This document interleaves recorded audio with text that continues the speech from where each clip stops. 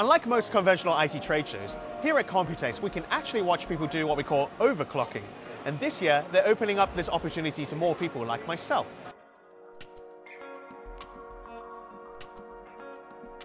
Can you tell us what the setup is going on here? So what we have here is a Z270 platform with a 7700K Kaby Lake uh, CPU. And the idea here is that we will push this one to 7 gigahertz. So the first step we have to take here is to get the temperature down to minus 190 degrees centigrade. So you take the, the flask there, which is filled with liquid nitrogen, and then slowly pour it inside here. It's dangerous. Whoa! How much should I pour? Continue, it's fine. We need to drop down a little bit more. So now you can see already that the temperature is going down about Oh, wow. two, two centigrades per second.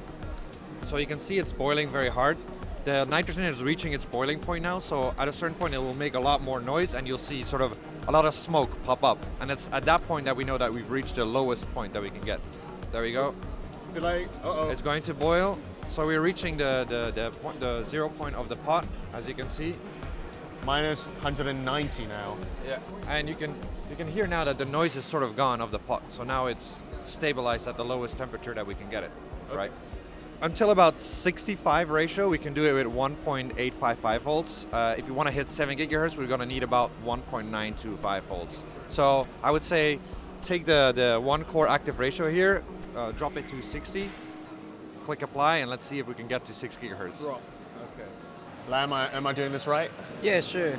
Okay, we're at 60. And, Now. mhm. and you have to look at the core voltage, 1.855, right? 1925.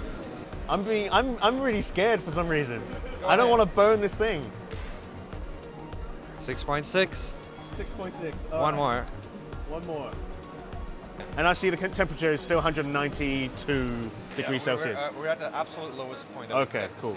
Should I should I push seven, to seven gigahertz now? Are you ready for it? Yeah, you- sure. Let's do it. Apply. Okay, okay. Bam, Seven. we have it right there. Okay, that was a very. All right, so now the system froze up. Now we need to heat it up a little bit so we can. We're gonna heat it up. Yeah. So in order to make sure that it can boot fine, we're gonna heat it up a little bit to I can't believe you're doing this. to maybe minus 170, and then we drop down again. We're back into Windows now. Yeah, everything is working fine. So you can see there's no issues with the with the overclocking here. Oh, okay. Crashes at 7 gigahertz, you reboot and you try again. Okay. So the another important thing is to uh, we have to hold the temperature in a stable temperature because if the temperature fluctuates, then the course may be unstable. Then all of the things gone. So the key is to keep the temperature stable. Okay, we're back up. All right, we're seven gigahertz. Yes.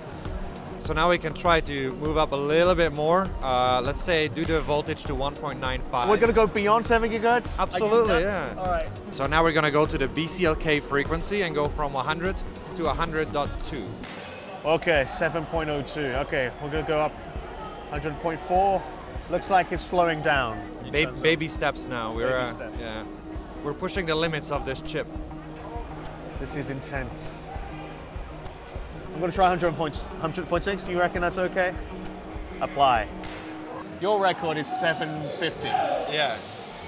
and I just broke your record. Yeah, you got to you got this- higher than, than what we've gotten on this chip. No way! Oh my god, this is it. I I broke the record again. 7083. This should be a new record For this chip. for this chip. Oh my. And the system has frozen. You can see the cursor's not moving. But this is it. Peter, before we wrap up, any tips you can give to people out there who want to try this overclocking? Like what should they be careful with?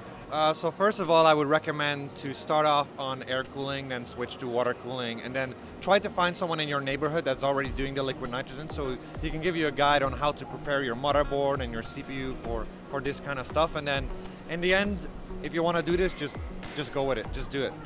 Good. And Lam, what do you think? Or how? Any any special tips? I, I know you had. some Yeah, comments so you know one of our enemies is one of the water. So the waterproof uh, job you have to done before anything you could do.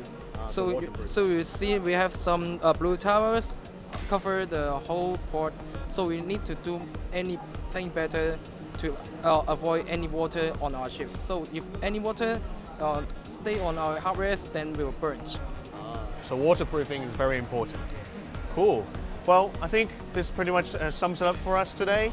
Uh, thank you guys for giving me this opportunity and also to let me break a record, apparently. Yeah, so this is it. Overclocking at Computex 2017.